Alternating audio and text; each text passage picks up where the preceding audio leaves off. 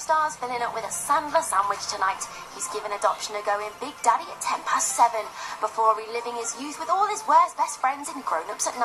Now, Mr. Bean's holiday.